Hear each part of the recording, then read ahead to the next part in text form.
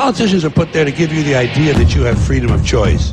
You don't. You have no choice. You have owners. They own you.